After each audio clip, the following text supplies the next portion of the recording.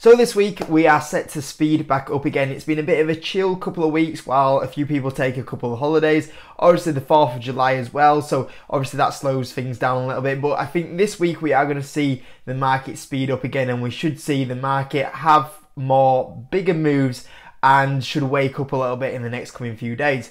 Now the S&P itself has had a bit of a chilling out phase. We've been on a bigger bit of a run. We've had a bit of a cool down and that's good. It's good that we have a stock market that every so often has a bit of a cool down. We do not want to slingshot too much in the upwards direction because as you guys saw in 2021, we'll very quickly slingshot down in the wrong direction. And it's the same as if we sling too quickly in the down direction, we'll slingshot quickly quite up into the right direction, which we saw in this year in 2023. So this week we should see things start to wake up and hopefully I'll point a few of those things out to you and also some interesting thoughts I saw on a company that reported earnings last week as well. So hope you enjoyed the video and as always smash the like button. If you're on the Patreon, I dropped my US stock, mar stock market portfolio review. So go check that out on the page when we post two exclusive videos a week. If you do want to join, link is in the description. But starting off, the market in the last week seemed to focus around China and the exporting of chip making metals, which seemed to slow the market down a little bit. Obviously, that relating to one of the stocks that's really been propping up the market at the moment, Nvidia. A lot of focus seemed to go on that. There was seemed to be a little bit of focus on about the jobs added uh, being slower in June. Now, let's be honest, it was slightly below estimates every other job report so far has been really hot. So the fact that people are trying to make this as a slowing economy just because the jobs came slightly under this month, I'll believe it when we see it more consistently and that slowing down gets more and more. But it seemed like people were looking for something negative to push push down the market this week, and these stocks seem to get a little bit more attention than what they should have done. So these weren't major issues that were out there for me. The big thing this week and what will dictate the market going forward for the next couple of weeks is this inflation data. We get the next set of inflation data out for June. This comes out on the 12th of July. So Wednesday, we'll see what is going on with inflation. Now, this is massively gone under the radar once again, and I think that the market should have been getting a little bit more excited about this last week than what it did do. Now, previously, analysts were forecasting inflation to come in from the 4%, and we were going to hit the 3%. Now, this is really good because if you imagine when we go back to start the year, we thought we may hit the 3% by the end of the year, potentially the 2% by the end of the year. We are going to hit the 3% in June or July, if you say say we are in July, I guess. Um, but it's from the June data, so we're gonna hit the we're gonna hit the three percent already. So this is really really good, and the fact that this pretty much confirms that we are going to hit 2% this year, which is obviously what the Fed is targeting. Now, this is what's the more impressive part that no one is talking about, and in fact, the market should have got excited by this massively. We previously, only a week ago, we were expecting inflation to come to 4% into 3.6%. Now, you guys probably saw me a few weeks ago. I was saying no, no, no. It's going to come even lower. We're going to be in somewhere between the 3.3 to 3.4% range. Now, this is where it gets even better. The new predictions is that the consensus will be to come in at 3.1 to 3.2.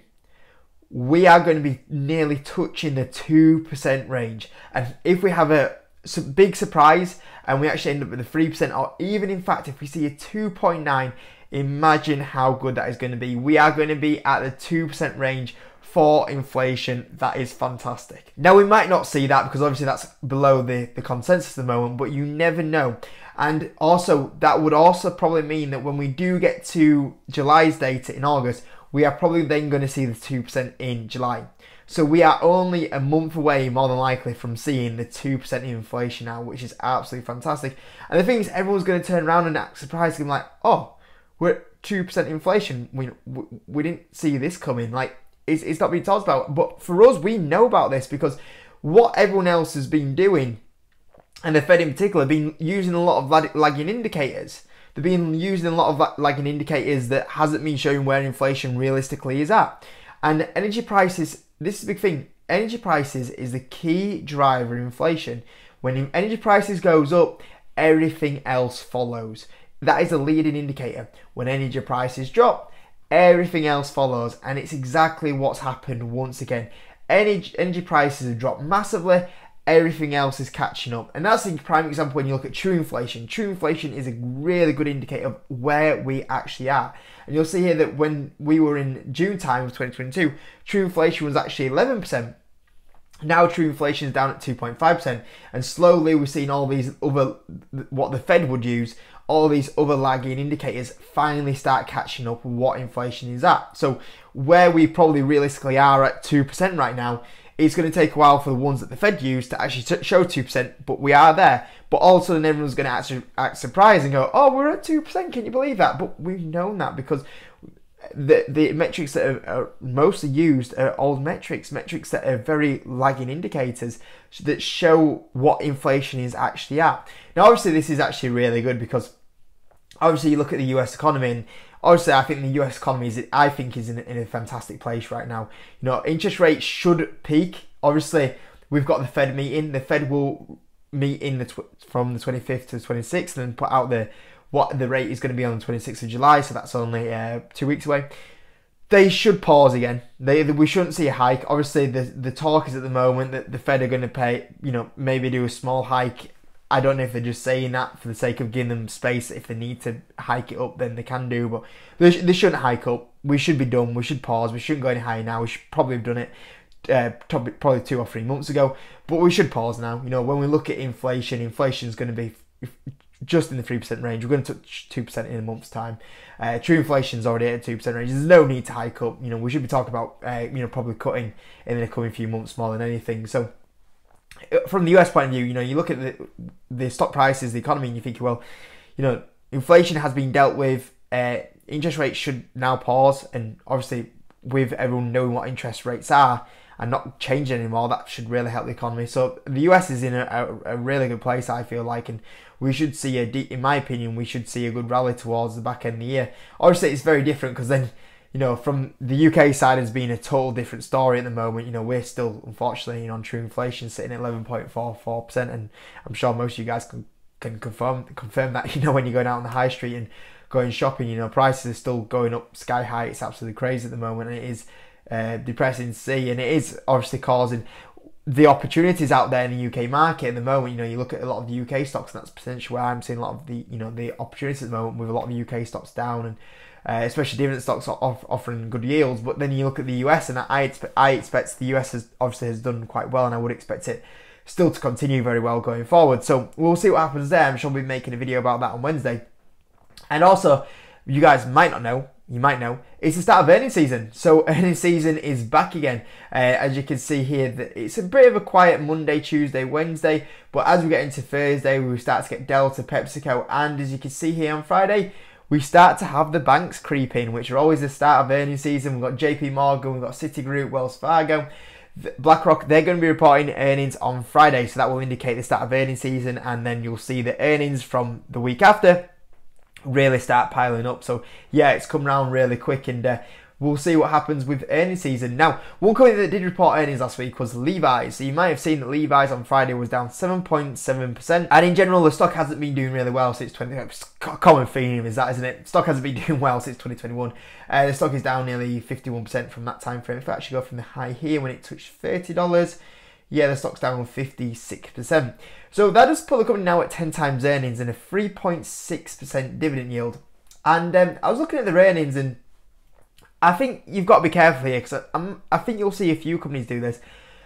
Levi's tried to blame on the macro environment by the looks of it, but realistically, when you look into the company, there was a little bit more like, oh, it was actually a little bit of our fault why we posted weak earnings, and that's why the, the stock dropped. So they cut the guidance, as you can see here, slightly, not massively. I didn't think it was a massive cut, to be fair. But he said wholesale revenue was impacted by Q2 by a consumer slowdown impacting the re- retail industry. So that's the big thing that we're seeing a few people say. You know, consumer spending being hit at the moment, and people blaming the macro environment. And you're going, oh look, you know, the weak, the weakening economy is starting to happen. But then you said, and you read here, it says and internal issues at Levi's that result in items being out of stock, according to CEO Chip Bergh. I hope I said that one right. Our inventory backlog created supply chain challenges in our US distribution centers, resulting in our inability to fulfill all demand. The lower fill rate resulted in higher customer out of stock and less newness on the floor. the last few quarters. We're taking a number of actions to address these, um, and uh, yeah, it goes on a few a bit more there. But I thought this was interesting, and I thought this is sums up what a few companies might try to do at the moment. So you can see it clearly.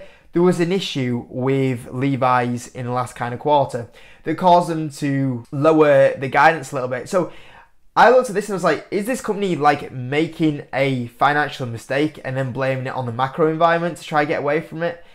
I actually thought that was a little bit there, and I think you've got to be careful because I, I think a few companies might try to do this. Is that they'll suggest because we're seeing some companies absolutely still flying at the moment on their earnings, and then a few companies, you know, point you know fingers at the economy, and it's like if it was an economy issue, we probably should see pretty much every company saying they're seeing weakening demand, not only a couple. And I thought Levi's was one of those companies that were trying to get away here and saying, oh, it was the macro environment, but realistically, they're actually it's an issue inside the company that why this issue is going on. And I thought there could be a few companies that try to do this, and especially a company like Levi's in this retail space.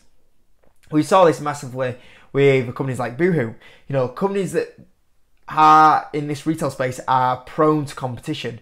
So re- realistically, are they just getting beaten on a competition point of view by one two percent, and then they blame that one two percent on a competition issue because that one two percent of customers actually you know don't actually like Levi styles at the moment. I'm going somewhere else to go buy them one two percent.